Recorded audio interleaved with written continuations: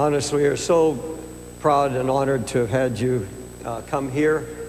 And uh, we trust that you have been moved and your heart has been touched and changed. And we really don't have a reading of what's happened here. We don't know. We can't judge it by the noise or the worship or the praise or anything else because we don't know the deep work of the Spirit. Uh, as you notice, there have been no offerings. We're not charging anything for this.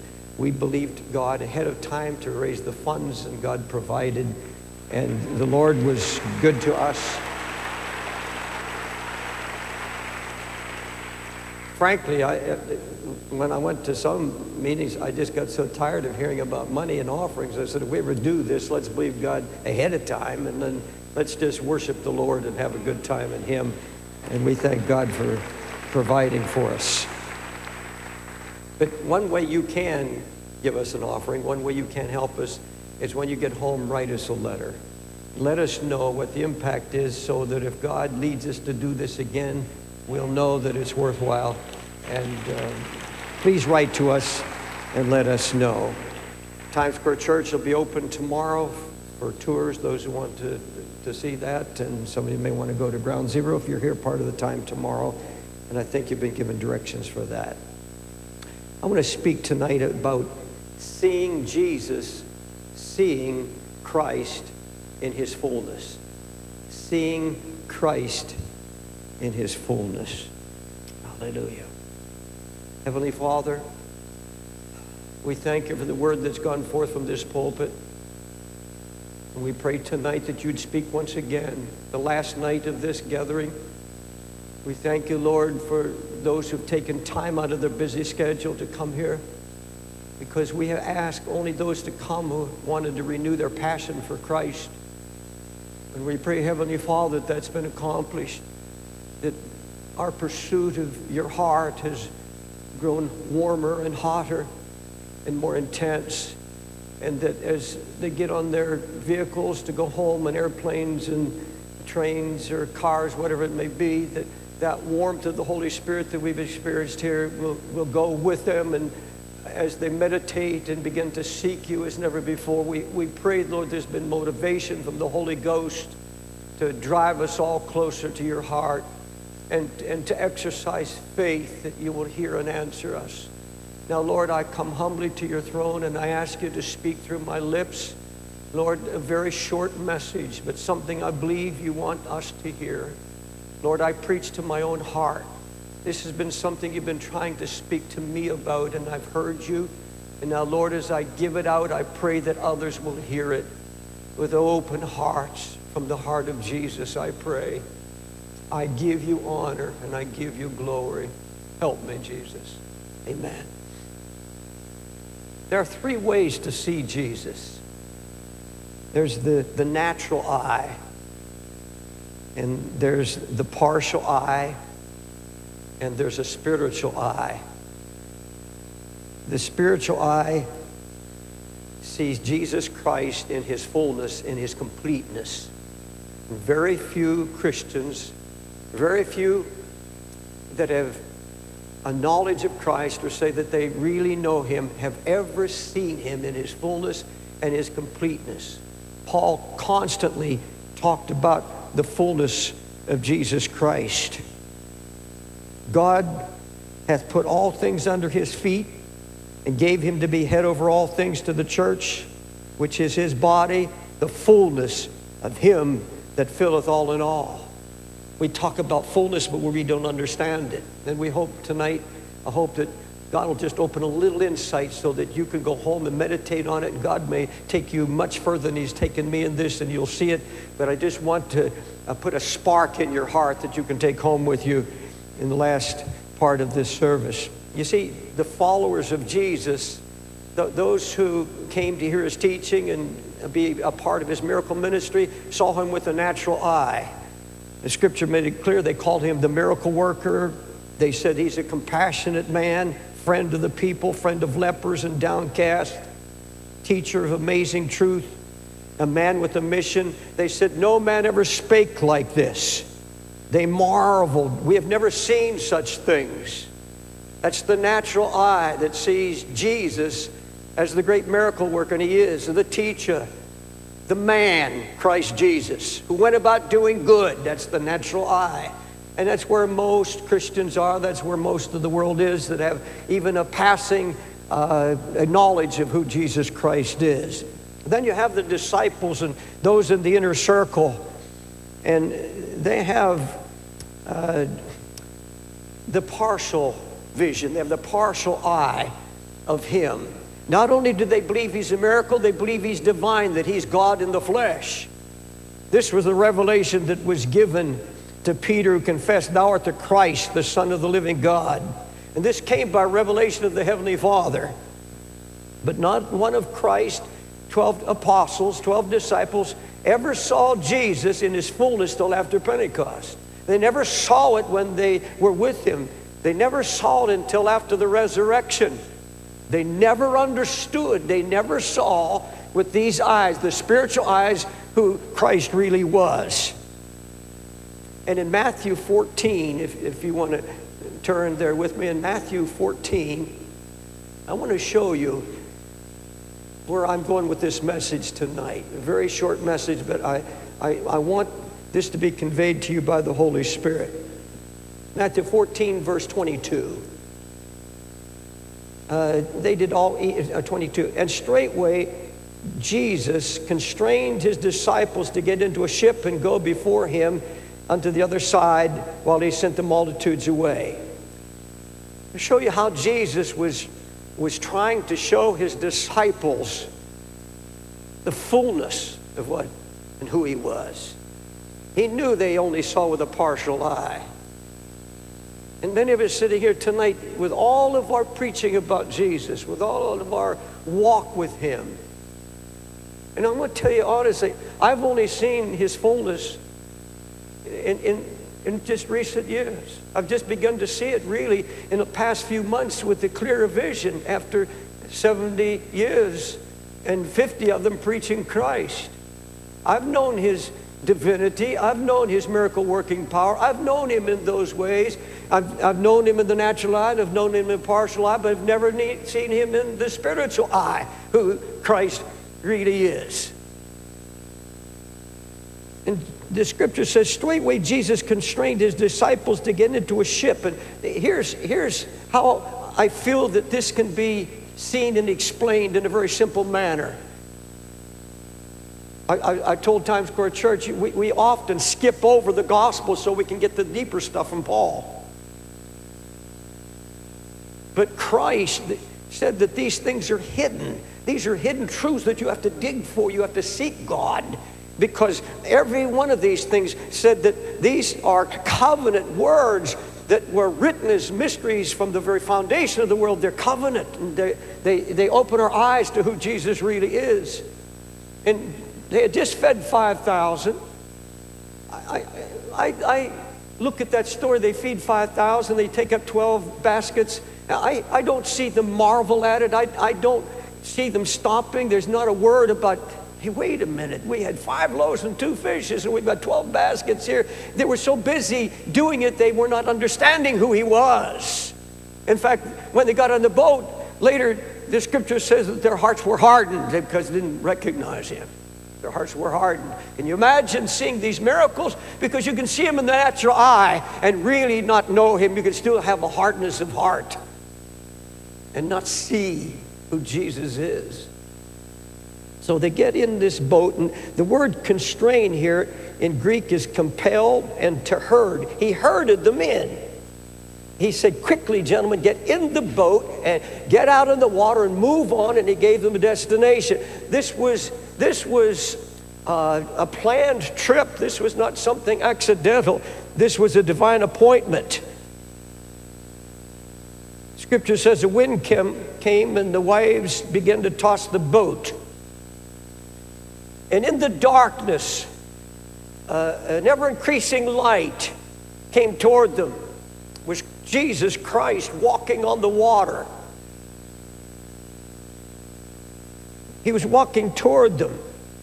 Not one disciple's heart leaped with joy, knowing and sensing in the Spirit that Christ was drawing nigh.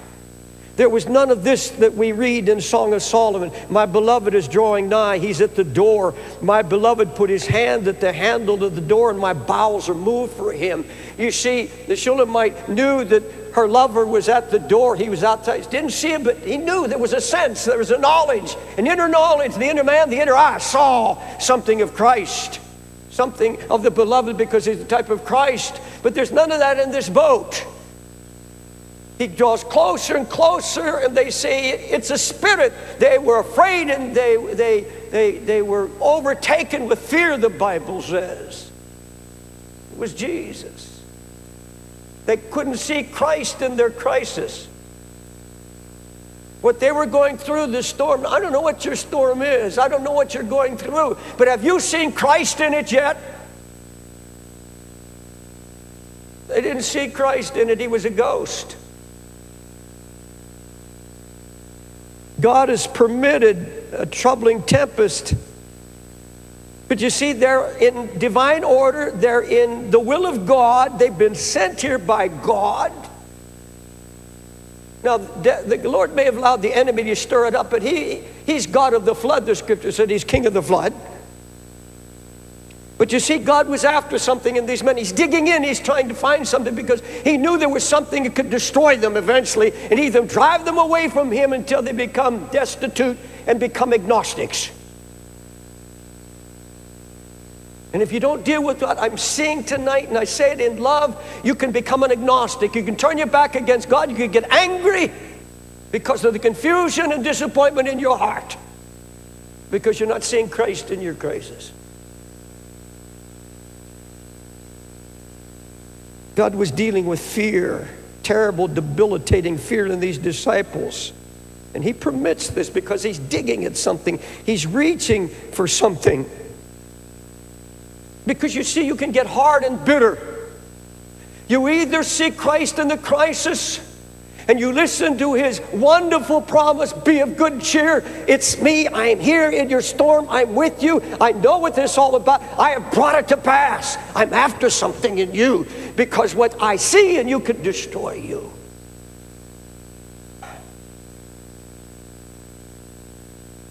There are people going through storms right now and they're getting bitter, they're getting hard, and they're a little angry at God. But in your crisis, I'm telling you, Jesus is always coming at you. He's always coming towards you. And he's always there if your heart would just recognize him. About eight years ago, I went through the storm of my life, Gwen and I. I thought the ship was going to sink. At Times Square Church, there was an uprising against me. Pardon me for using a personal illustration, but I don't know how best to illustrate what I'm preaching. Friends turned against me, friends that I thought were my dear friends, and they turned on me and were calling me a phony. Over 400 people walked out of Times Square Church. Of course, the next Sunday, 600 walked in. No, no clapping, please. Horrible lies, distortions, things I couldn't understand, a storm like I'd never seen. Six months. And I have a journal I don't even look at anymore. I can't stand the pain of reading it because every page says, Oh God, when does this nightmare end? How do people? You see, I couldn't see Christ in that crisis at all. I went through six months. I would sit in the chair and cry because people were calling me a phony go to church in the backstage, young people come and say, Are you a phony like they say? I said, What? Are you a dictator like they tell us? Because people were calling on the phone, and every time I went to preach, I'd meet backstage, it'd be 15, 20 young people and say, We're leaving. We lost half our group, lost numbers from the choir, I lost associates. And all I could see were ghosts. Every time the phone rang, there was a ghost call. Would it be gossip? Who's on the phone? All I could see were ghosts. I couldn't see God in it anyway. I couldn't see Christ in my crisis. Why would God allow things? I love Him. I, I, and, and I saw ghosts of past failures. Am I paying for past failures? Am, am, I, Am I everything that they say I am? What is going on? Lord, I've given my life for drugs and alcoholism and teen challenge, and then I come here. You told me to come and establish a church, and then all, all of hell breaks out on me. And people I loved called me a liar.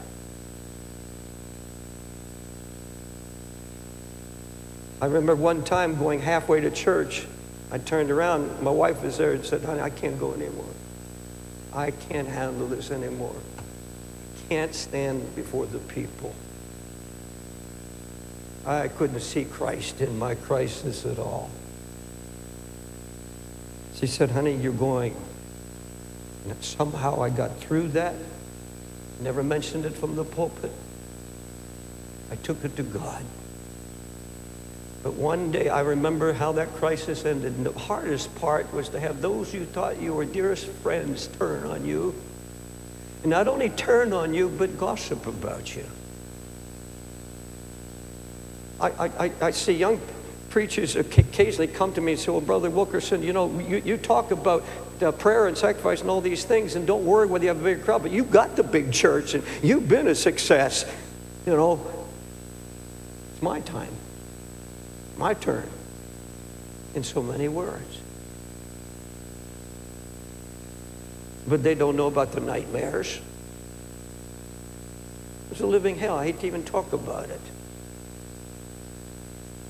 But I remember the day the Holy Spirit came to me and I began to see. The Lord said, David, if you'll do what I tell you, I'm going to give you some orders, and if you'll do what I tell you, this is going to end. The storm's going to end. And I'm going to use you as you've never been used in your life. I'm going to have all your enemies at your feet. And I want you, when they come to your feet, to bless every one of them. Love and bless them. God said, I'm going to give you names. Because you see, David, you don't see how many people you have wounded. You don't know how many people you have dealt with so bluntly. People that you have fired from your ministry because this one person, you didn't do it biblically, you didn't have two witnesses, and one witness, you quickly fired them, you believed the report. And he said, if you will repent before them, you've repented before me, but that's not enough. There has to be a spirit of forgiveness in you. There has, you have to stand in your pulpit where there's not one person that the Holy Ghost can remind you of that you have wounded, you've spoken something, you've repeated something about them, you've done something to wound or hurt them. And when you do this, you repent, you weep, you, you weep before them if you have to, but you honestly. Don't say, if I hurt you. you. Say, I have wounded you. And call those who've been speaking against you. Make it right with them. Just tell them, I'm sorry. There was something I, I, I, I did and spoke, and there were some that I really was angry with. Some people I was angry with. And I spoke angrily and tried to expose them for standing against me. God gave me a list to start with 12. Others were added later. This one I thought was all over. There would be another one pop up from the Holy Ghost. God said, I want you to be able to stand with a clean heart and look everybody on the face of the earth in the eye and say, I love you. And not one single grudge in your heart against anybody because I can't bless you. Now, you are focused on your hurt now, David. Now, I want you to focus on the hurts of others because I have a body. I'm not just the head, I'm a body. And you've wounded my body. He said it in love. I'll tell you, I got on the phone immediately dealing with that list of 12. And one of those men that I called the first man, he wept and cried. He said, I've been waiting for a call like this. I've, you don't know how you hurt me, Brother Dave. I know you didn't mean it, but it hurt me and it's wounded me, and I've had a hard time praying seeking God. And we wept together, and God brought it. And one after another, everyone I called, one man says, Now I know God's doing something in your heart. And I went down the list, and we wept and we prayed, and I got it out of my heart poured it all out before the Lord. And there was one couple that I didn't know where they were. I said, God, how do I do it? And he said, if your heart is right, I'll bring them to you. I said, Well, I don't even know where they live. They've been in the United States. And they were the, that was the last couple, the last ones that I had to reach. And I was in California for a meeting. And after service, here they come walking up to the stage. And I grabbed them and put my arms. I said, I've been looking for you. I said, I fired you 20 years ago from Teen Challenge on one person's witness that they saw you doing something. I never even looked for another witness, and I accused you and I fired you on the spot. I gave you enough to live on for a few weeks, but I just threw you out. And I said, I am so sorry. God has dealt with me. I'm telling you, they weep. And the man looked at me and said, You've just saved my life. Saved my life. Because I've been so grieved and hurting for 20 years. Then he opened my spiritual eyes to see who Christ really is in fullness. You see, I was seeing Christ as a head. I wanted intimacy with the head. I wanted fellowship with the head. But he says, I'm not detached from my body. The only way you see me spiritually is that you see that I have a body. And if you wound my body, you wound me. And you don't see Christ in his fullness till you see Christ with a body.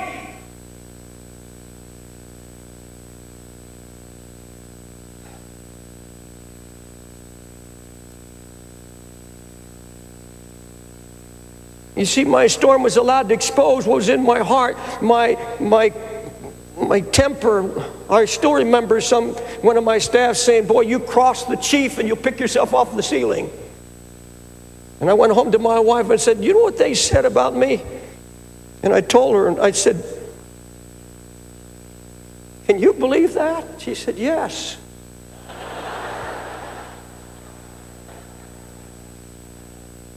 my quickness to judge harshly, to pass on gossip that I'd heard. But you see, they were all members of his body. They were members with me, being fed by the head, and all supposed to be ministering one to another.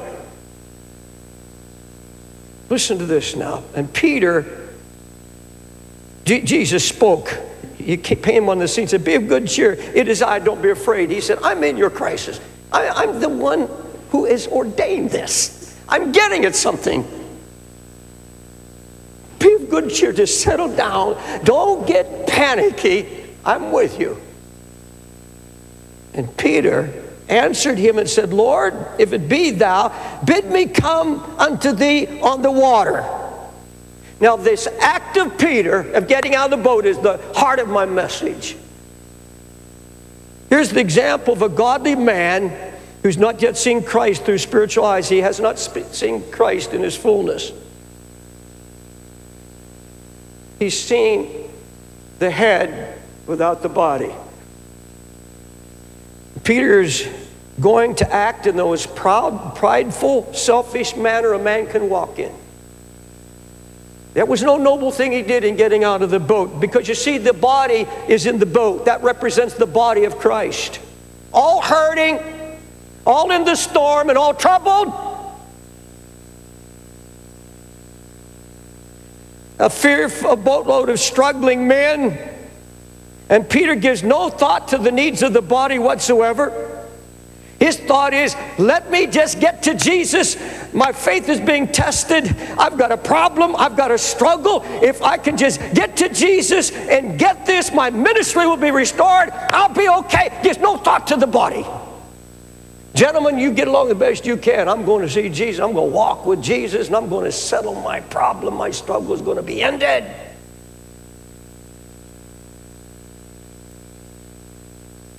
The whole body in that boat were crying out with fear. All of them were troubled. God help us when we are so focused on our own discouragement, our own battles, that we become a distraction to the body.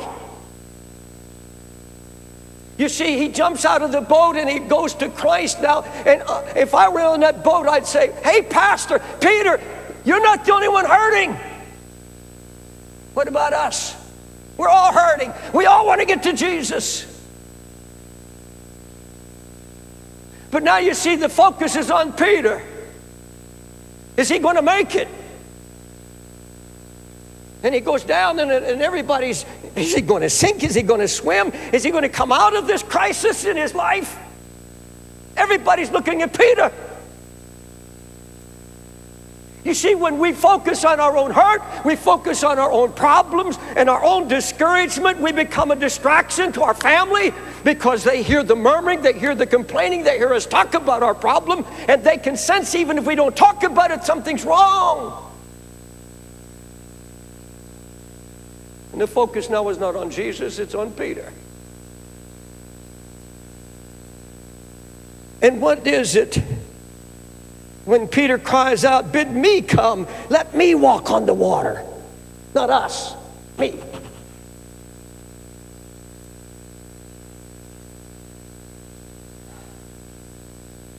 And when Peter does sink, what's the cry? Lord, save me. Then on the boat, everybody in the body is saying, Save us too. Do you understand what's happening here? Peter has delayed the deliverance of the body because he's so focused on his own problem. Because you see, as soon as Jesus gets in the boat, the storm ends. And he has delayed the deliverance. These men go through probably hours of pain, and they say, Peter, yes, you're going after, you're trying to solve your own heart problem and your own struggle, but we're still tossed, we're still turning. We want Jesus in the boat. Now Jesus is preoccupied in saving this man. And while he's getting out of his struggle, these men are still in their terror. That's what happens in our churches when we ask the people to focus and pray just for us. We're, we're in this struggle, we're in this battle, and we're delaying the deliverance of the people who are hurting perhaps twice as much as we are. Look around you. Within 10 feet of you, there are people who have problems far worse than yours. Deep struggles and deep hurt. when our granddaughter Tiffany got brain, had a brain tumor, we, we wept, and we cried, and we requested prayer. And there's nothing wrong with that. God wants us to request prayer. He wants the body. Paul said that we would have equal concern for all, equal concern, concern for all the body. And we've got word of her, her brain tumor. I, I remember all the letters coming. One letter in particular a mother and father, such a sympathetic letter saying, we, we hurt for you, we pray with you, God bless you. And I was telling, well, listen to this, this uh, husband and wife, the wonderful words of encouragement. And then toward the end of the letter said, and we hurt with you. Because you see, we, we just, our, our teenage daughter was kidnapped with another girl.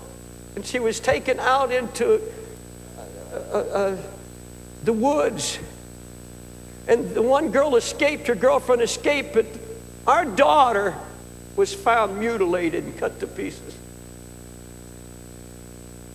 And I'm here thinking of my granddaughter who's still alive, doing well, praying, God, I hope it doesn't come back. And here are these people comforting us and they're carrying a hurt that I don't know anything about. I, I was talking to a dear pastor friend of mine, how God opened his spiritual eyes to see Christ in greater fullness. There was a young lady in his congregation who was evidently born with some disfigurement in her face. But all through her teenage years, she dreamed of finding a husband who would overlook her, her handicap and love her, and she wanted to get married. And her one real dream was to have a child. Carried that for years, and I guess she was in her, I, I don't know if it was the age, but probably in her 20s or so. She brought the pastor a bar of soap and a baby rattle. Said, Here, I don't need these anymore. The bar of soap represented the memory she had of her father asking her when she was a little child to, honey, bring soap to me, bring me some soap. And it was the man in the house, father, calling her, and she felt useful. And the baby rattle represented the child she hoped and dreamed that she would have one day because of a man who loved her in spite of her handicap. But now she knew that things would not change and circumstances would not change. She said, Pastor, I don't need these anymore because she traded her dream. You see, the, the bar of soap reminded her, kept in her mind the day that she might have a husband, and he would call for a bar of soap, and she would, you know, it's a man in the house, and she's a help. Here's the soap, here's the baby rattle, because I've traded my dreams. I've given it all to Jesus. And in so many words, Christ becomes her husband and she's filled with joy. And she gives herself to other people. And he told me she's one of the most loving people. There, there's a, a, kind of beauty to this woman. She's very loved by the people, especially by children. And, and God, has, God has given her children, all right. And God has given her a true husband. And she has joy in her heart. But he began to think of that, the pain that was there all the time. And he thought of his own battles and struggles, and they seemed so small in comparison.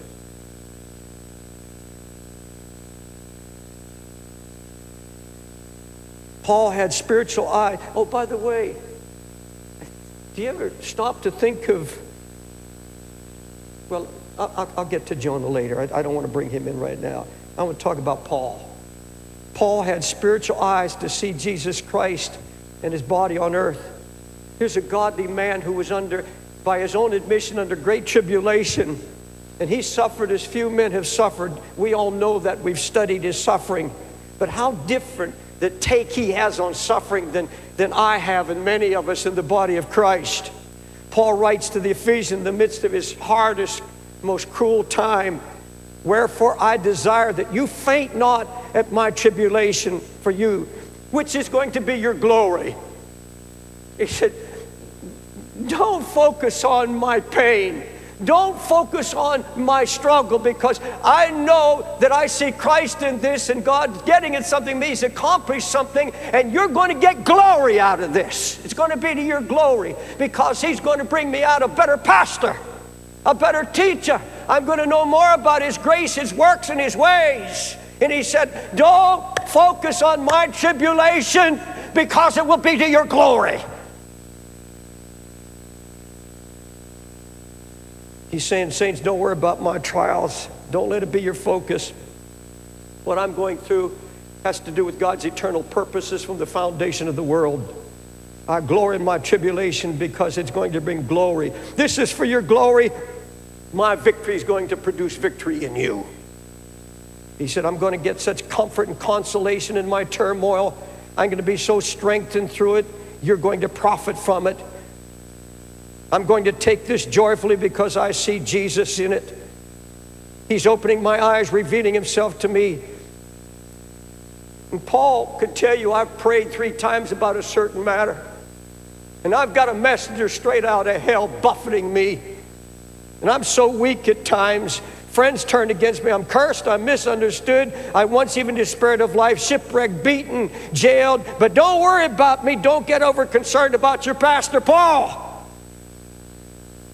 And this man, facing the greatest tribulation of his ministry, begins to preach encouragement. He proclaims, We are all one body in Christ.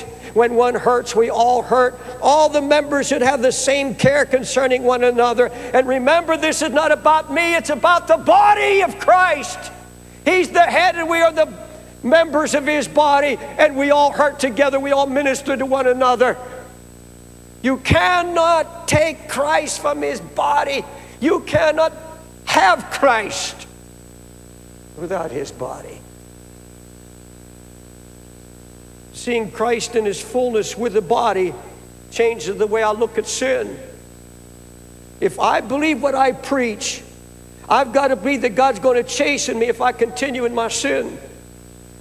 If I indulge in adulterous flirtation, or pornography or any kind of lust, I know He's got to deal with me because He doesn't want to lose me. He's got to judge me, and correct me, and chasten me as a loving Father, lest I be given over to my sin. And if I see Jesus in His fullness, I've got to see how it impacts the body, not just the head. It's got to be more than just, Lord, I know I've grieved you. It's the body that's being impacted by my sin. Because if I have sin, I'm going to stand in the pulpit and I'm going to give the congregation a false tenderness. I'm going to perceive Christ to them. I'm going to present Christ as, as one who is so easy on sin because I don't want to be a hypocrite. Because I know I have a problem in my own life. Because you see, I'm affecting the body. I'm not just grieving Christ, I am jeopardizing the whole body of Jesus Christ. The false tenderness. While people are going on the brink of hell, and some even going to hell. And that's where I, I think of Jonah running from God. You see, when, when you run from God, you run from His conviction, chaos comes. Everything goes in disorder. Divine order is gone. Remember them running around the ship, unlading the ship, and everything's out of control. Everything is in chaos. It's what happens when you run from God and continue in sin. He disgraces his Lord and he ends up in this living hell in the belly of a well.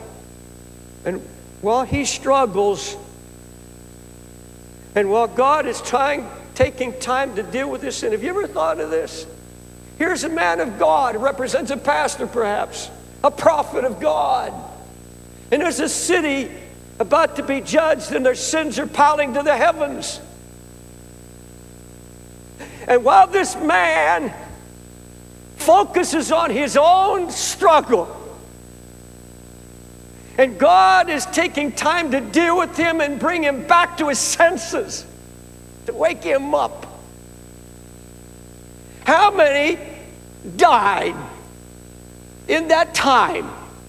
It could have been weeks, it could have been months. The Bible uh, puts it in this little time period, but it could have been months. the time he made his decision, walks all the way to Joppa and the boat trip, and I don't know how many weeks they were in the water before it happened. I don't know the time element, but how many died without repentance because Jonah didn't arrive on God's schedule. And God has to bring this man out of his problem. Meanwhile, people are dying. I wonder how many, when a, a pastor struggles, I wonder how many, you, you know, struggling with a sin problem or struggling with, with, with uh, thinking of quitting even in this sense. People know it, and they feel it. I wonder how many say, if pastor can't make it, what chance do I have? That's what happened when some famous evangelist took a fall. The cry here in New York was so many, and I heard it over and over again. Well, if brother so and so, with all of his knowledge and his anointing, can't make it, how can I make it?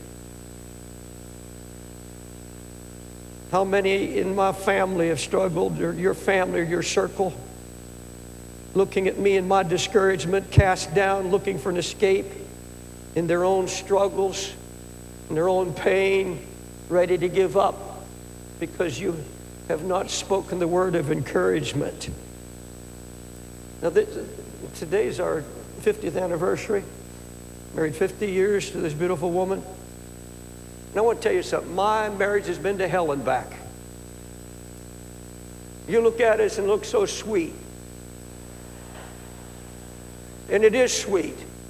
And we are in love. And we are friends. And it's a good marriage. It's solid. It's this test of time. But we went through temptations, we went through trials, and there were numbers of times, there were numbers of times it have been so easy to give up.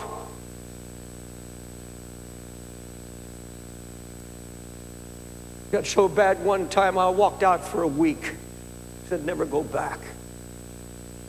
After week, God said, if you don't get back, you're finished, boy. You're dead. Boy, I raced home. I've never taken a step out since. But on Monday, this past Monday, all our children and grandchildren had a party for us. They had a banquet. Grandma and Grandpa, Dad and Mom, and some friends. They had on one of the properties there an old stone barn, beautiful inside, and all fixed up with flowers. And they had a harp, harpist playing a harp, and white tablecloths, and a beautiful meal. And then all the kids got up to say something about Dad and Mom and the grandkids got up and sang these wonderful things about dad and mom. And it was, Dad, Mom, thank you. We know the storms you went through. Mom, we know the pain and the suffering and all those operations and cancer. Times you were swollen, but you were always there when we needed you. And we knew that you always loved Dad. And Dad, we knew you loved Mom. And that was, we'll never forget that night. But I remember sitting at that table, shuddering inside, shaking. Oh, God. If I had walked out, if she had walked out, every one of my children that are married and in the ministry would have been divorced by now. Every one of them, by their own admission. I wouldn't have one, all my grandchildren have a heart for Jesus. Everyone in the family, all the generations, a heart for Jesus. And I said, if, if I had not allowed the Holy Ghost to keep me by covenant, if, if I had just taken that one step and said, We're going to fight this through, we'll take power over the devil, we're not going to give in to the enemy, we're not going to let God or the devil destroy this family. I said, Oh God, I, I would be dead now. I would be, if I were alive, I'd be the most miserable man on the face of the earth. And not because my kids are, would be divorced, not because my grandkids would be on drugs and alcohol and all messed up, but because I had hurt the body of Christ. I would I would cry out to God with everything in me, oh God, kill me, take me. I've disgraced your name. You see, it's the body. It wasn't Jesus I hurt, I hurt his whole body because I can't have him detached from his body.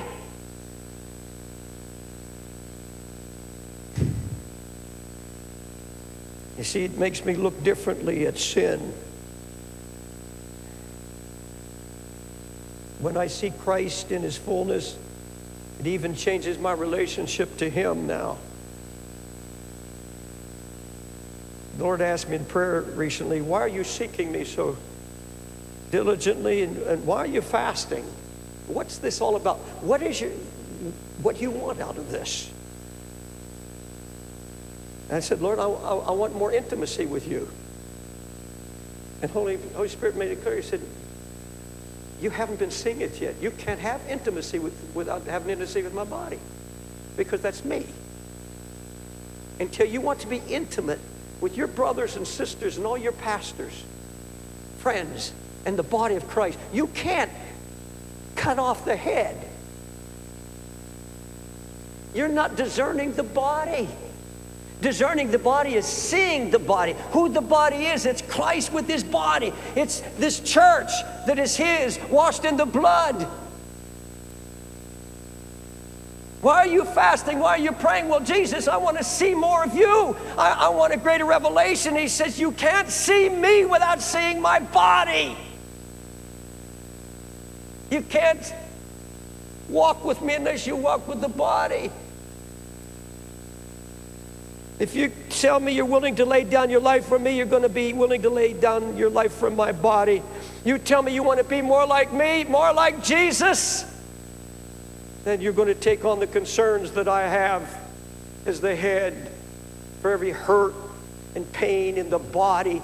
And when you hurt, and when you're discouraged and when you're down, you do as the Apostle Paul and you start looking at the hurts in the body. And as you minister to them, God will deal with yours in love. He'll bring you out of it because you're loving and helping others.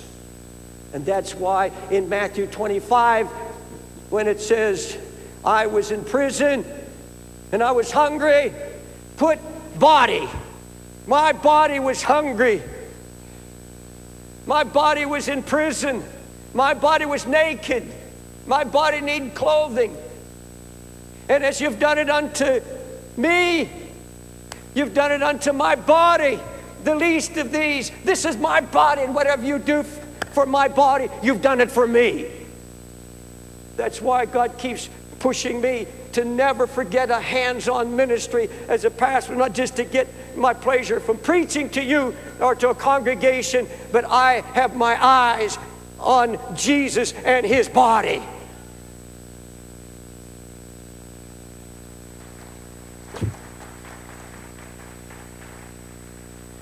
For we are members of his body, and he is the head of the body, the church.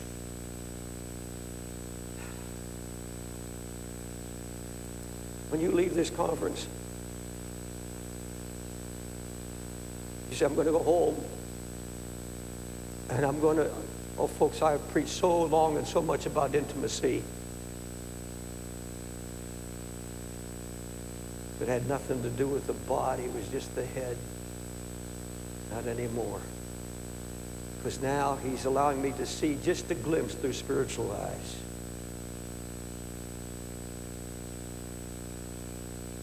Until you look around you to all the people that are in pain around you and all the suffering in the body. And you say, that's what I want to be intimate with. I want to be available to the body of Christ. Praying he opens your eyes tonight, and I'll tell you how we're going to do it. I was praying this afternoon. I said, Lord, how do we close this conference? I'm finished now, by the way. I told you all I was going to give you was a spark. You go home and you, God will show it to you. But every time you come in His presence, don't look at a head dismembered from its body. Lord said. You can't have me without my body. Now, we're going to minister to one another. Now, we've been ministering to you in all of these services, and we come to the end of this conference. Now, usually we had to get out at 9.30, 10 minutes, but we have till 10.30 tonight. We've got time. You said you came here to renew your passion for Christ. If you heard what I'm saying, you're renewing your passion for the body of Christ. Do you understand that there are people next to you that are hurting? There's a young couple, uh, there's a pastor and his wife pastoring about 40 people from Texas. They're just starting a church. And, and, and I know when I talk to them, I just met them on the street, about 40 people, and, and they're here. their church took offering and sent them here. And I know every, everything must be tight. And I know there, I could sense in my, they're, they're in the will of God, but they're going through trying times, terribly trying times. And they're sitting next to somebody here there are pastors and wives that are going through the struggle of their life. And the Bible said we're all members of one body. And I'm going to have you in a moment stand and we're going to get little circles, four, five, six people. And the Bible said every member, every joint ministers to the other joints and the other members. We minister. We minister that. You've been ministered to, now you're to minister to somebody around you. I don't want anybody prophesying over somebody. I don't want you to get in or condemn you and say, hey, I know why you're going through that. We don't do that here. We're all members of a body. We're all one. And if one hurts, what? You say, how can I hurt for the whole body? You hurt for the one that you reach out to. That's the body. He's not asking you to hurt for the whole body. He, said that you hurt everywhere you go, you find that hurt. And may God make you a healer. And may He get you off focus from anything that you're going through now. If- I want everybody in this building to forget your problem, forget what you're going through, forget your discouragement. You say, Well, I've been here all this time and I'm still at it. I'm still being pounded by the enemy and I'm still at this uh, point of discouragement. Would you forget that? Would you minister? For the next 15 minutes, I want you to minister to everybody in your circle. I want you to pray as you've never prayed before. And I'm telling you, the glory of the Lord will come upon every group, will come on this house. And God will be honored because you are seeing, is where I'm hoping the Lord is showing me through spiritual eyes. I'm seeing Christ now in his fullness. Has a full body. Will you stand? Now, folks, I want everybody to pray. There's no altar call. This is body ministry, and you're going to minister to those around you. And, and you don't know, you don't need to know what the problem is. Pastor Carter had a word of knowledge the other night about someone who, who's thinking of ending it all. And uh, the man was here. And God touched him. And somebody here is probably going to be praying for him. I don't know what it's going to be in your circle, but I want you to discern the body. Discern the body tonight. See the body. I've been so blind to it, and I've asked God to forgive me. I want to be part of the body. I want you to get in circles right now four, five, six at the most. Turn around behind you. If you have to walk across the aisle, whatever it is, and I want everybody to pray in concert, everybody praying at one time. God has, He's better than any computer. He can compute it, He can compute our prayers. All right, you might get in uh, not too large of a circle. Lower the circles down to maybe six people or something like that. If, if there's more, fine. But I want everybody up in the balconies and here in the main floor. I want you to minister in love and I want you to pray for your brothers and sisters right now. Everybody in this house, pray and lift up your voice to God and minister to those in your circle. Everybody pray. Lord, come now. Show us your body. Give us eyes to see. Lord Jesus, now give us eyes to see. God, give us a ministry of compassion. Let us feel the hurts of those in our circle. Lift up your hands, or lift up your hearts, rather. Come on, lift up your heart. God, everyone in this circle, everyone in this circle, God, touch them and heal them. God, give me a vision. Open my eyes. Somebody's hurting in this circle. Someone is grieving. Someone is discouraged. Someone needs a miracle. Hallelujah. Hallelujah.